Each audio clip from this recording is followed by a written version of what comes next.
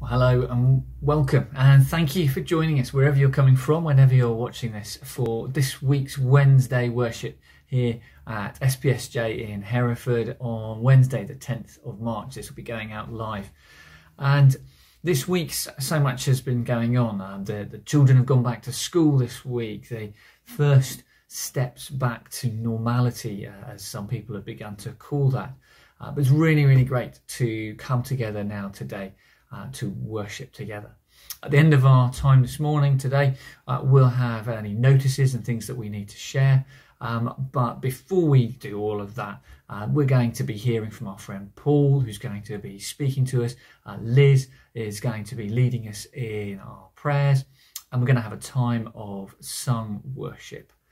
Um, I'm just going to read one of the two passages that Paul might be referring to later on. Uh, this comes from the beginning verses of Deuteronomy, chapter 4, verse 1 and verses 5 to 9, following on from that. So here, here we are with our first Bible reading. Hear now, O Israel, the decrees and laws I am about to teach you. Follow them, so that you may live and may go in and take possession of the land that the Lord, the God of your fathers, is giving you. See, I have taught you decrees and laws as the Lord my God commanded me, so that you may follow them in the land you are entering to take possession of it. Observe them carefully, for this will show your wisdom and understanding to the nations who will hear about all these decrees and say, Surely this great nation is a wise and understanding people. What other nation is so great as to have their gods near them the way the Lord our God is near us whenever we pray to him. And what other nation is so great as to have such righteous decrees and laws as this body of laws I am setting before you today? Only be careful and watch yourselves closely, so that you do not forget the things your eyes have seen, or let them sleep, slip from your heart as long as you live. Teach them to your children and to their children after them. This is the word of the Lord. Thanks be to God. Let's just start our time together in prayer and then we'll go into some sung worship. Father God, we thank you for your word, for the laws that it contains, the guidelines, the guidance uh, for us in so many ways. And we thank you for the way that you uh, invite us to hear your word and to follow you. And we pray that we would hold those things close to our hearts today, that we would live them out in our lives, and that we would share them with our families, our children, our loved ones, our neighbours, our colleagues, those we, those we care for, and those who care for us. We ask these things in your great name and through the power of your Holy Spirit. Amen. So now let's worship God together.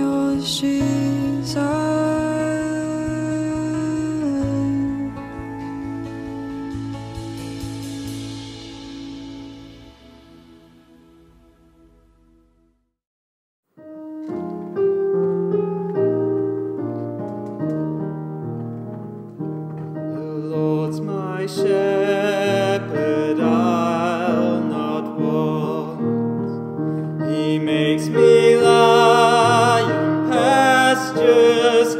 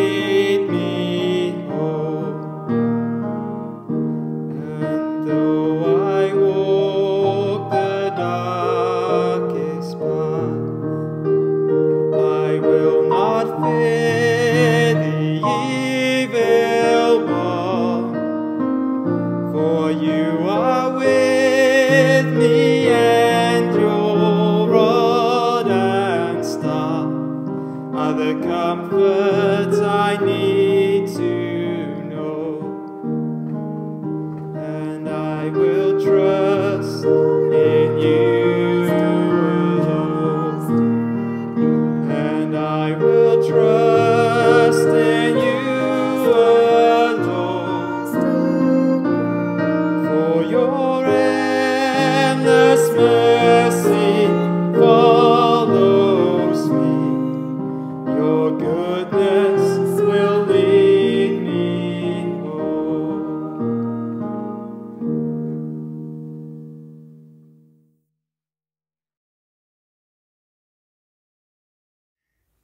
just before we hear from Paul, I'm going to share with you our second Bible reading. This comes from Matthew's Gospel, chapter 5, where we find the Sermon on the Mount uh, uh, and Beatitudes.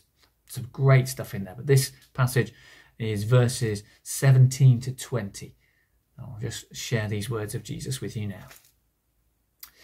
Do not think that I have come to abolish the law or the prophets. I have not come to abolish them but to fulfill them. I tell you the truth, until heaven and earth disappear, not the smallest letter, not the least stroke of a pen will by any means disappear from the law until everything is accomplished. Anyone who breaks one of the least of these commandments and teaches others to do the same shall be called least in the kingdom of heaven. But whoever practices and teaches these commands will be called great in the kingdom of heaven. For I tell you, that unless your righteousness surpasses that of the Pharisees and the teachers of the law, you will certainly not enter the kingdom of heaven.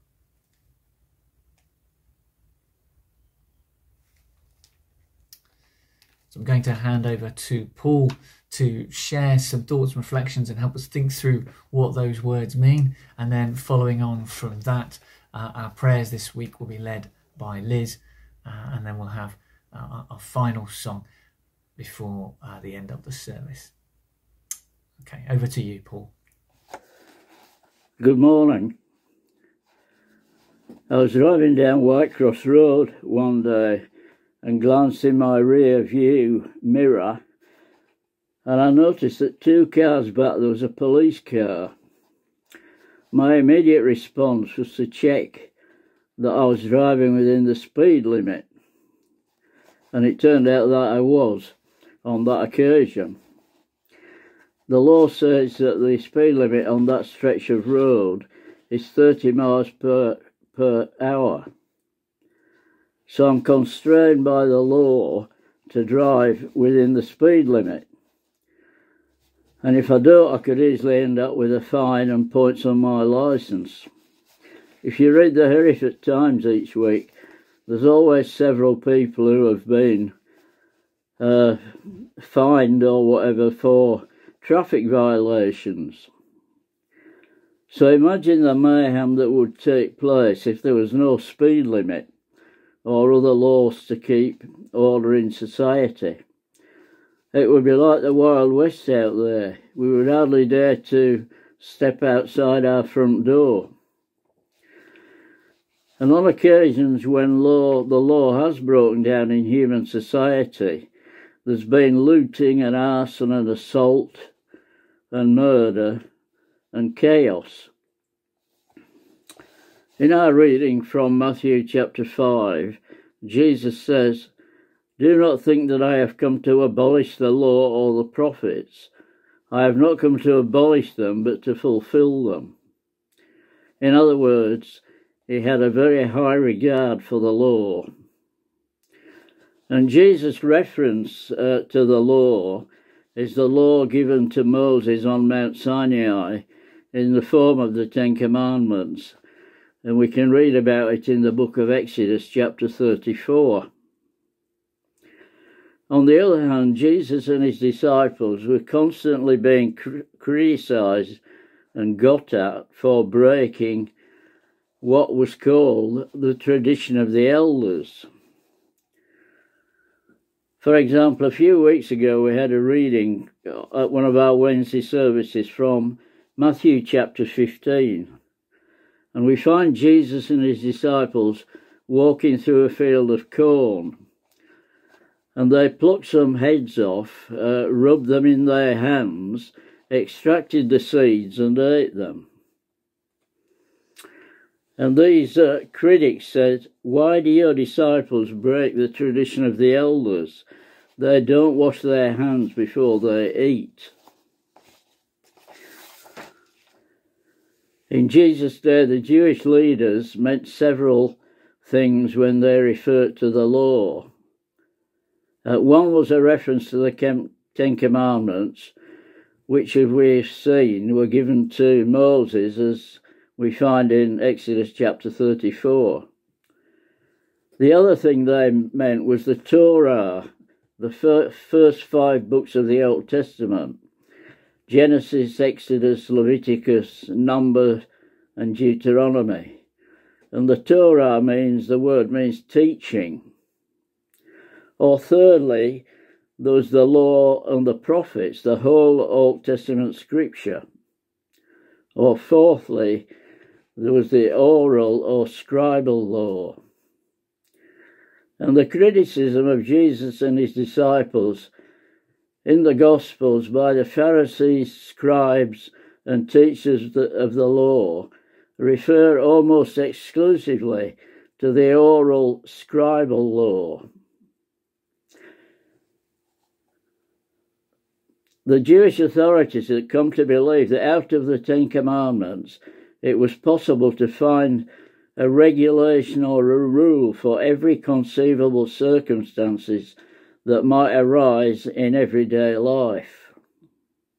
And so the scribes and the Pharisees and the teachers of the law made it their business to deduce from the great principles of the Ten Commandments literally thousands and thousands of rules and regulations.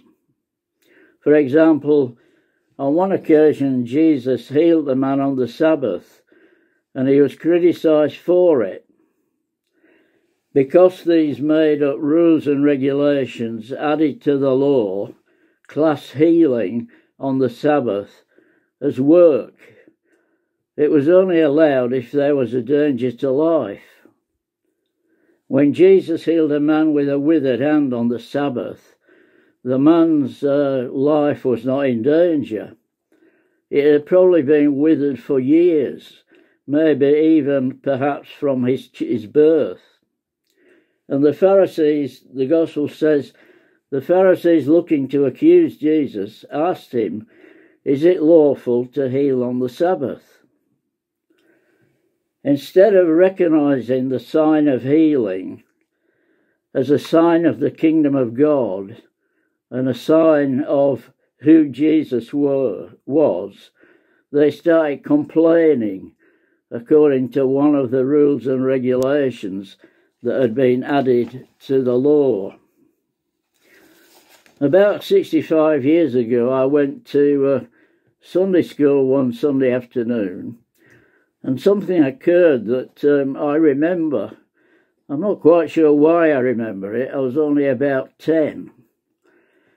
But I recall the Sunday school teacher saying we should not use public transport on a Sunday.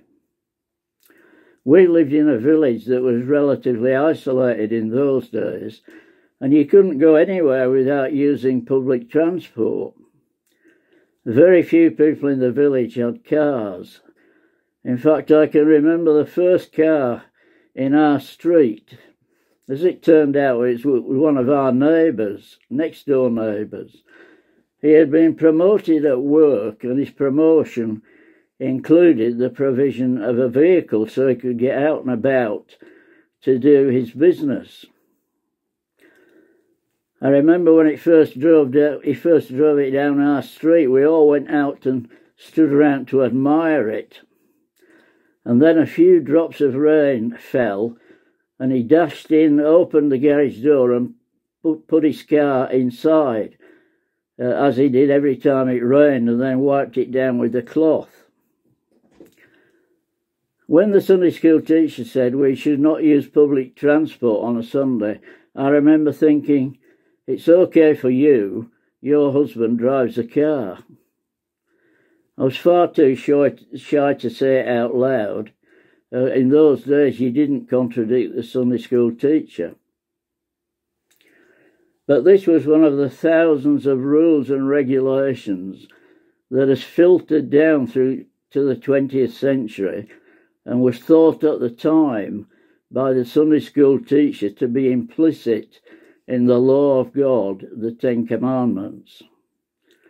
But as far as I know, the Ten Commandments have got nothing to say about the use of public transport, whether it's by car, donkey, camel, or aeroplane.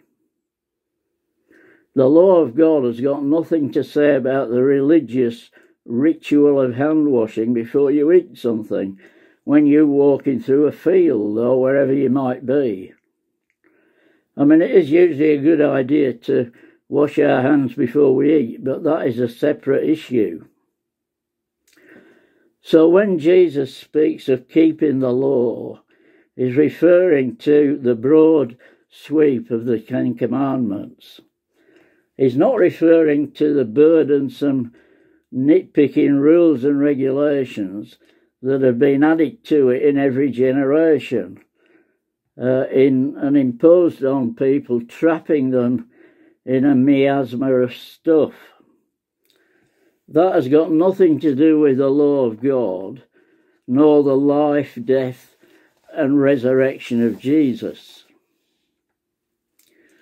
Now we know that the essence of the law is to love God with all our heart, mind, soul, and strength, and to love our neighbour as ourselves. A bishop in the early church summed it up when he said, Love God and do what you want. In other words, if we truly love God, our whole life will flow, flow from that inner love, rather than our whole life being constrained by petty rules and regulations. So love God and motivated by that love, do what you want. Amen.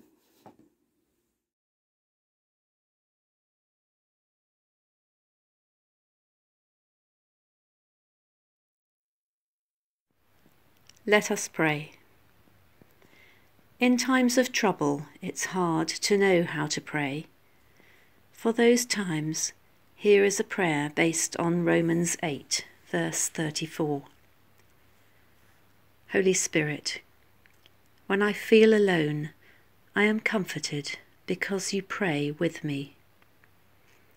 When I am silenced by suffering, I am grateful that you pray through me. And Jesus, when I feel helpless, I am strengthened because you're with the Father right now, praying for me. Lord, we call on you, knowing that you are near, knowing that you walk beside us in the good times and the bad. You know our every need, even before we ask. Father God, hear us now as we come to you in prayer we pray for the world, and especially for those places where there is fighting and hardship. We pray for Senegal, Yemen, Myanmar. We pray, Lord, that you would protect and support those living in migrant detention centres in countries around the world we pray for those suffering due to the devastation caused by explosions in Equatorial Guinea last Sunday. Loving Father, there are so many areas where your light appears to have been extinguished, not only abroad, but also in our own country. Bring hope and encouragement, we pray, to all those suffering in these dark places. Lord, in your mercy, hear our prayer. We pray for world leaders and for our church leaders, for our archbishops of Canterbury and York, and for our own bishops and clergy. we ask that you would grant them wisdom and understanding, humility and insight. We pray for all clergy families everywhere, especially those who are struggling with the heavy demands of work and family. In their busyness, we pray that they will find time for stillness and peace. As the deer pants for streams of water, so may their souls thirst for the living God. Lord, in your mercy, hear our prayer. We give thanks for the continuing vaccination programme in this country, and we pray that vaccines will be distributed fairly throughout the world. We give thanks for all those key workers who take daily risks in order to carry out important and vital tasks. Especially, we pray for those healthcare workers who continue to care for the sick whilst suffering with their own mental and physical health. Surround them with your love, Lord, and when their own strength fails, may they be supported by your supernatural strength and your everlasting arms beneath them. Lord, in your mercy, hear our prayer. Lord, hold us when we stumble, and when we fall, lift us up and give us hope.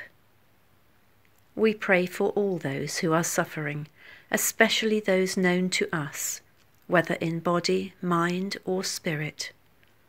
May your love and your truth always protect them. Raise them up from the slimy pit, out of the mud and mire, and set their feet on a rock. Give them, we pray, a firm place to stand, and put a new song in their hearts. Lord, in your mercy, hear our prayer. Merciful Father, Guide us in the week ahead, we pray. May we not be constrained by petty rules and regulations, but rather may your love and your presence in us motivate us to do your will. Lord, in these days of mercy, make us quiet and prayerful. In these days of challenge, make us stronger in you. In these days of emptiness, take possession of us. In these days of waiting, open our hearts to the mystery of your cross. Amen.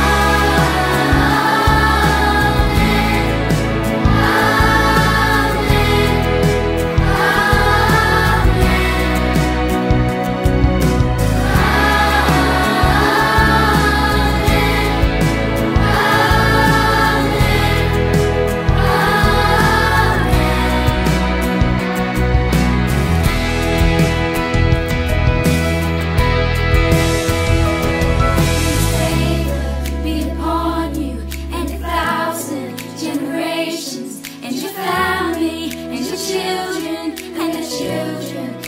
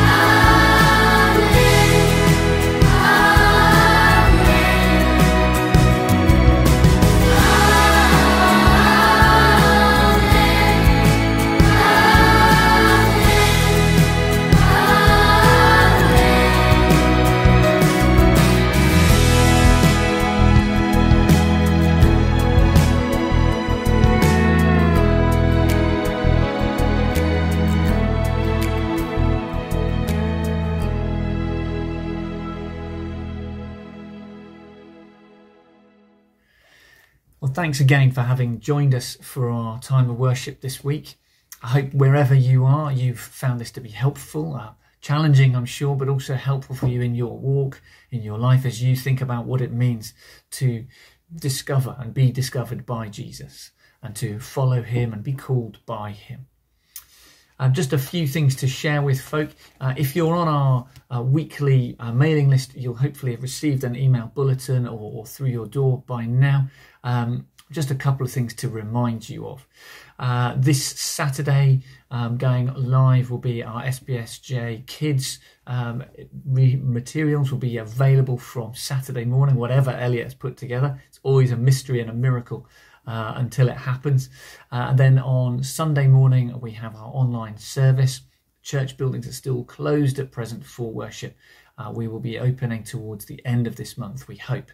Uh, but this Sunday, our online service starts with coffee time at 9.30 and then the worship uh, online at 10, followed by some discussion time at 11.